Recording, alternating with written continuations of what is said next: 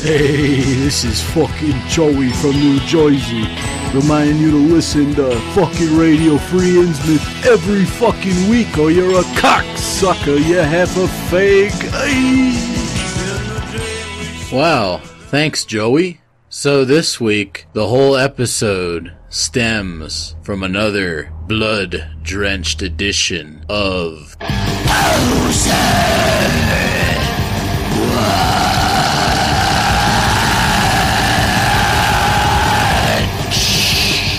So, as you might be aware, if you listened to last week's episode, Robert E. Howard killed himself on the 11th of June, way back in the 30s. I actually didn't know the exact date until the day of the show, but interestingly enough, I had just finished reading all of uh, Michael Moorcock's A dice cock. all of his Elric stories, and I decided to go back farther into Michael Moorcock's influences and reread all of the Howard stories, which were a major influence on my philosophical development as a teenager. And it's just kind of eerie that that happened to coincide with the date of Robert E. Howard's death. So I did a little bit of digging into Howard the man himself, and I came across his Wikipedia page, which includes a section simply entitled Criticism. And within this section, Michael Moorcock himself gives a very honest appraisal of Howard's talents when he says, The ability to paint a complex scene with a few expert brush strokes remains Howard's greatest talent, and such talent can't, of course, ever be taught. So when it came to writing, Mr. Howard was a bit of an autodidact. He learned how to construct a good story from reading old mythology and stuff like Jack London and such. And he took it in a new direction, applying the life lessons he'd learned growing up in an oil boom town in Texas around the turn of the 20th century. But where we get into poser watch territory is when we read the assessments of Mr. Howard's writing by certain other writers who honestly either don't know what they're talking about or are actively trying to subvert the heroic narrative. So, on one end of the spectrum, we have people who just think he's sort of an idiot savant that stumbled into his writing talents. For example, you often see a, uh Stephen King quote at the top of a Howard collected volume that says, Howard's writing is so highly charged with energy that it nearly gives off sparks, but a lot of people don't realize that this is a misleading excerpt from a larger King review, wherein he says, Howard overcame the limitations of his puerile material by the force and fury of his writing and by his imagination, which was powerful beyond his hero Conan's wildest dreams of power. In his best work, Howard's writing seems so highly charged with energy that it nearly gives off sparks. Stories such as The People of the Black Circle glow with the fierce and eldritch light of his frenzied intensity. At his best, Howard was the Thomas Wolfe of fantasy, and most of his Conan tales seem to almost fall over themselves in their need to get out. Yet his other work was either unremarkable or just abysmal, so not a terribly nice assessment of Robert E. Howard's voluminous oeuvre. Seems to waffle between thinking of him as sort of an idiot savant and just straight up calling him a shitty writer. Towards the shitty writer end of the spectrum, we have S.T. Joshi writing in his autobiography of, well, not autobiography, just straight up biography of H.P. Lovecraft, because uh, S.T. Joshi is a major Lovecraft scholar, and Robert E. Howard was one of Lovecraft's greatest friends. Mr. Joshi writes The bulk of Howard's fiction is sub literary hackwork that does not even begin to approach genuine literature, and the simple fact is that his views were not of any great substance or profundity, and that his style is crude, slipshod, and unwieldy. It is all just pulp, although perhaps a somewhat superior grade of pulp than the average. So, to these sort of backhanded compliments from modern literary critics, I think a quote from Robert E. Howard's classic tale Tower of the Elephant provides an accurate rebuttal of this sentiment. Civilized men are more discourteous than savages because they know they can be impolite without having their skulls split as a general thing. So, Robert E. Howard was distinctly anti modern, and I would say that literary critics such as S.T. Joshi, with his backhanded compliments and the fact that he's a bit of an SJW, writing a lot about racism in America, despite the fact that he himself isn't American. He's an Indian immigrant to the country, so an outsider criticizing the society he has infiltrated. I pray to Shiva, let me die, but I do not. And Stephen King himself, who has written some semi decent shit, but is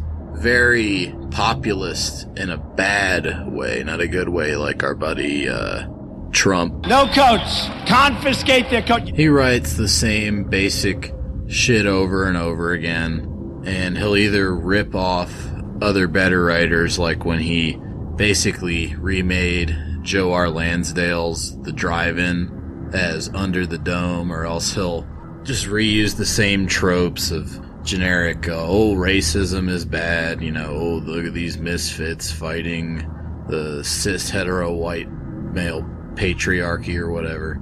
These people are both creatures of modernity, whereas Robert E. Howard was explicitly against that, and that's actually part of why he killed himself. He didn't feel at home in an increasingly modernizing and sterile world. He saw civilization in its uh, end state as sort of this like end capitalism or whatever as a spiritual death and an unnatural abomination as typified by a quote from another Conan story, Beyond the Black River. Barbarism is the natural state of mankind. Civilization is unnatural. It is a whim of circumstance, and barbarism must always triumph. So, Howard's basic worldview is that society may be degenerate and degraded, but it's also transitory. This was influenced by him growing up in a Texas oil boomtown. These these were kind of like gold rush towns, that they would spring up overnight. A whole bunch of people would come in, suck out the uh, resources they were there for, and end up leaving for somewhere else to repeat the cycle over again. He saw this as an inevitable civilizational cycle and microcosm, and sought to demonstrate the futility of this cycle in his stories, very similar to uh, Nietzsche's idea of eternal recurrence, and also the uh, off quoted aphorism hard times create strong men, strong men create good times, good times create weak men, weak men create hard times, and then those hard times create strong men, and again. So that's what Robert E. Howard is all about. Barbarism for him, the uh, barbarian, is a figure of uh, prowess, skill, and the drive toward freedom in a world of slavery, which I think is something we can all relate to. The slavery in his world isn't just bog standard SJW style oppression, it's the uh, psychological cages that we've all created for ourselves, and it is from these cages that Howard's strongest critics bark their distaste for Howard's writing. So you get a lot of shit talking about the Freudian parts of Conan or straight up saying, oh, these are all tales of a kid who was bullied, now he's having a power fantasy where he can be the barbarian and hit back at the bullies. Never mind the fact that even though Mr. Howard, given that his family moved around a lot in the uh, nasty nature of those Texas oil boom towns. He was bullied as a child, but he responded by becoming a bodybuilder and by studying and becoming very wise in the ways of ancient lore. So for Howard, the barbarian is the overwhelmingly white, and yes, it is very racialized. This idea of beating back both the uh, chaos of the natural world and the degeneracy of the unnatural.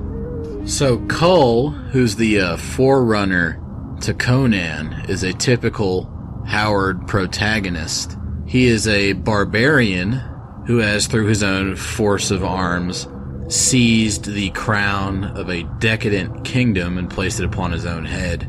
And he's trying to straighten this kingdom out with his barbaric ways, but he's resented by the slowly decaying populace. At the same time, he's a stranger in a new world. He's a barbarian of a newer race of humans in finding himself the ruler of an ancient culture that he doesn't quite understand.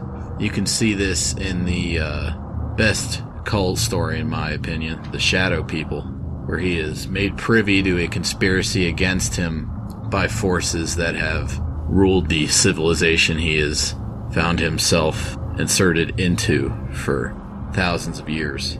There's a part in this story I've always found very haunting where King Kull is riding back from meeting with his counselors from the Pictic nations, and the city itself seems to be mocking him. The very buildings are yelling back at him that he doesn't know anything.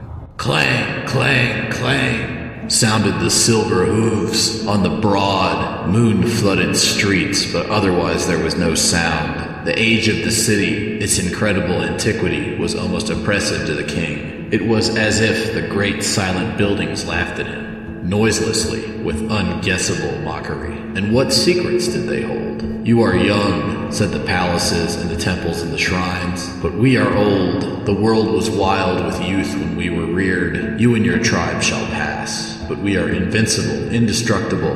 We towered above a strange world. Ere Atlantis and Lemuria rose from the sea, we shall still reign when the green waters sigh for many a breathless fathom. Above the spires of Lemuria and the hills of Atlantis, and when the isles of the western men are the mountains of a strange land. How many kings have we watched ride down these streets before Kull of Atlantis was even a dream in the mind of Ka, bird of creation? Ride on, Kull of Atlantis. Greater shall follow you, greater came before you. They are dust, they are forgotten. We stand, we know, we are. Ride, ride on, Kull of Atlantis. Kull the king, Kull the fool. And it seemed to Kull that the clashing hooves took up the silent refrain to beat it into the night with hollow, re echoing mockery. Kull the king, Kull the fool. Glow, moon, you light a king's way. Gleam, stars, you are torches in the train of an emperor. And clang, silver shod hooves, you herald that Kull rides through Valusia. Ho, awake, Valusia. It is Kull that rides. Kull the king. We have known many kings, said the silent halls of Valusia. So, on first glance, it would seem that Howard's worldview is very nihilistic and foreboding, much in the same that Lovecraft's is, but whereas the overriding cosmic evil that's pushing down mankind in the case of Lovecraft was the forbidden knowledge of science leading to the meaninglessness of existence. In Howard's case, it's the uh, decay of civilizations. But though it is a dark and unforgiving way of looking at the world, there's also hope.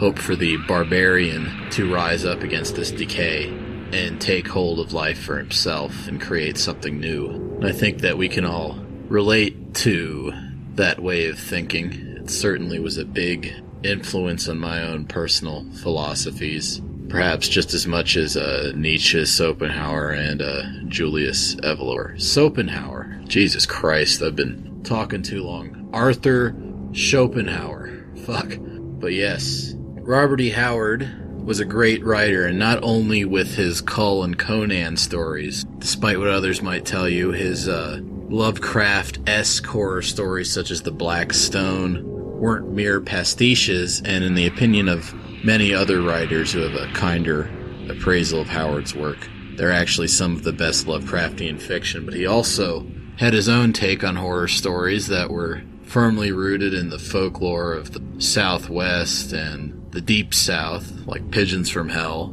It's a very good Louisiana tale, positively chilling. Will actually give you nightmares if you attempt to read it before you go to bed, fair warning. He also did a lot of westerns that are very good. Some of them are weird westerns, as he called them, which involve a little bit of Lovecraft and a lot of ghosts in an M.R. James sort of way. But there's also uh, The Vultures of Wahpeton, which has no supernatural elements at all.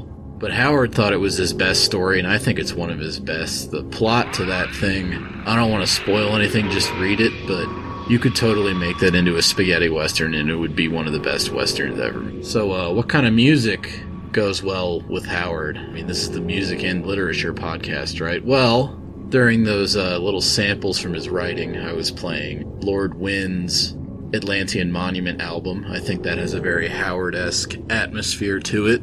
Also, the Gates of Slumber's second album, Suffer No Guilt. Not only does it feature a number of uh, Conan themed songs, but overall, it has a very Howard esque sense of the triumph of the barbarian against the decay of society. And it also has a song called God Wills It. It's about the Crusades that I think Raph in particular would enjoy quite a bit. Also, Shaddy, if he's still alive out there, somewhere in the ether of the great eagle spirit. But that's about all for this week. You can see my voice hiccuped a little bit there. I was going to do a Styx impersonation, but thought better of it. Y'all have a good one. Hey, hopefully you enjoyed that interesting installment of Radio Free Innsmouth. Tune in next week to hear Judd talk about some other bullshit for way too long.